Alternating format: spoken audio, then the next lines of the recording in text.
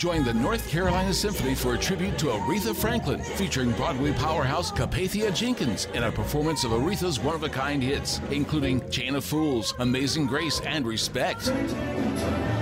A tribute to the Queen of Soul, Aretha Franklin, with your North Carolina Symphony. For three performances Friday, January 20th at 8 p.m. and Saturday, January 21st at 3 and 8 p.m. at the Meymandi Concert Hall at the Duke Energy Center, Raleigh. Get your tickets now at ncsymphony.org.